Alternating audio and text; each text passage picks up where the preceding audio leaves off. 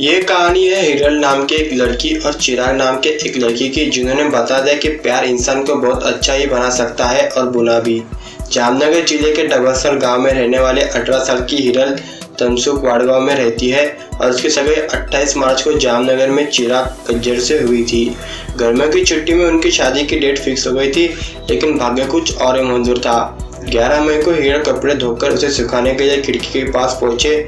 जैसे ही हाथ बाहर निकाला तो उसके दौरान इंडक्शन वायर पर हाथ लगते उसका हाथ वही जल गया।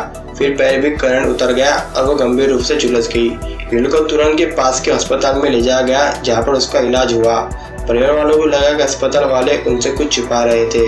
बार बार पूछने पर नहीं बता रहे थे। वे सब कुछ ठीक हो जाएगा, डॉक्टरों ने कहा।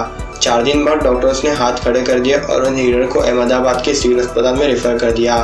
पापा डॉक्टर ने कहा कि हिरण का दाहिना हाथ और दोनों पैर काटने पड़ेंगे। अगर दुर्घटना के 48 घंटे बाद भी यह लाए तो स्थिति और होती थी। इस बारे में मीडिया के हिरण के मंगेतर चिराग ने बताया कि। जब हिरण के माता पिता को पता चला कि हिरण का हाथ और दोनों पैर काटना है तो उन पर दुखों का पहाड़ पहुँच गया। और बेटी का ज़िंदगी पर बोझ कौन उठाएगा? क्या उसका मंगेतर उससे शादी करेगा? हिरण की ज़िंदगी तो कैसे कटेंगी? इन सवाल के बीच हिरण के माता पिता गिर गए थे। जब चिराग अस्पताल आया तो उसने उसको देखा। फिर चिराग ने फैसला किया कि वह उससे शादी करेगा। P M news twenty four की रिपोर्ट।